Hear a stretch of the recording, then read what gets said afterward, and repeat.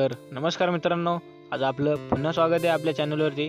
तर आजचा जो व्हिडिओ आहे तर आज आपण जाणार आहोत मोऱ्या गोसावी मंदिरात. तर मोऱ्या गोसावी मंदिर हे एक गणपती बाप्पाचं मंदिर आहे. आणि हे जे मंदिर आहे हे चिंचवड गावात येतं.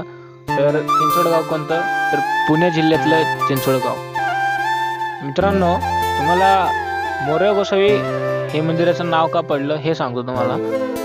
तर मोर्या गोसावी नावाचे एक महासाधू होते. आणि त्यांचा जन्म चौदाव्या शतकात झाला. ते मोठे गणेश भक्त होते. आणि त्यांचा जन्म पुण्याजवळील मोरगाव येथे झाला.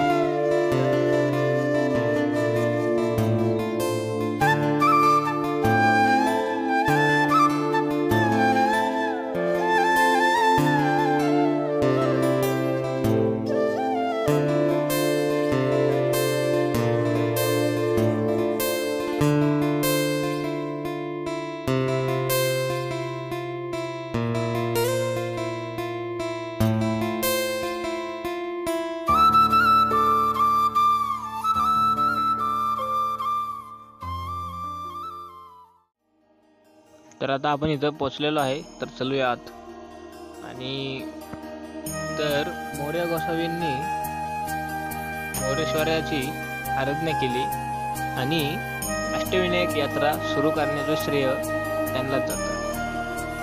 तर तुम्ही पाहू शकता इथं आजूबाजूला पूजेचं साहित्य भेटल तर पूजेचं साहित्य घेऊन आज जाऊया.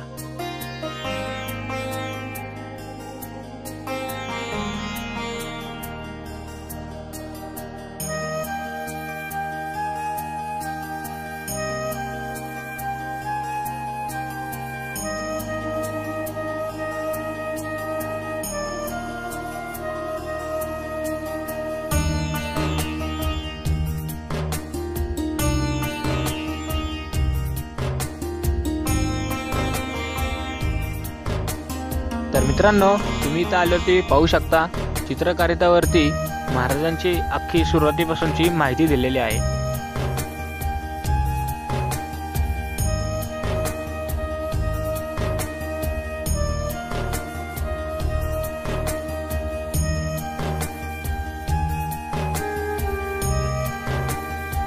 तर मोर्या गोसावींचं एक व्रत होतं.